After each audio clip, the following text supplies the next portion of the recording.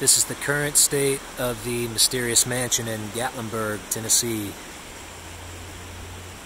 As you can probably tell, they are redoing the entire front of the old house. For those of you who are a fan of this attraction, you know that the front was looking pretty bad there for a while. The wood was so old and dry rotted.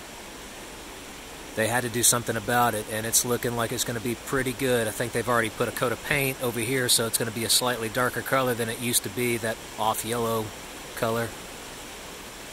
It's pretty exciting though, and as far as I know, it still remains in operation throughout all the renovations.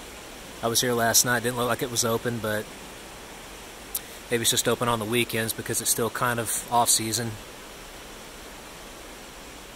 A brand new entrance, the stairs are gone.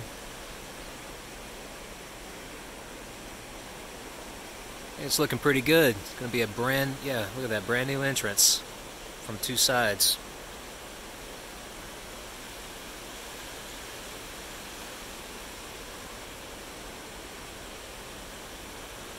If you've never seen the Mysterious Mansion, you've got to check it out. It's one of the most unique haunted houses in the country, if not the world.